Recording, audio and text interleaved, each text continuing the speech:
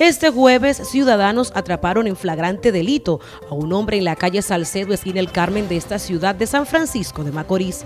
Según testigos oculares, este mantiene en zozobra esa zona, dado los constantes robos. Ya lo entiendo que varias veces, pero tiene grabado por ahí, que era una, una televisión también. Sonaron, lo que imagina. Le aplicaron la denominada técnica barrial y puesto a disposición de la Policía Nacional. Este, al ser cuestionado, niega los hechos. ¿Eh? ¿Y por qué te apresaron entonces? Yo creo que un un casco de... Pero dice que tú estabas robando. Un casco de motor. Dice que tú estabas robando, ¿verdad? Un casquito de motor. Un caquito de motor. ¿Te estaba llevando? Dicen ellos. ¿Dicen ellos? Eso es mentira entonces. ¿Dónde está? ¿Dónde está? ¿Y qué tú haces entonces? ¿A qué tú te dedicas? ¿De dónde tú eres? ¿De dónde tú eres?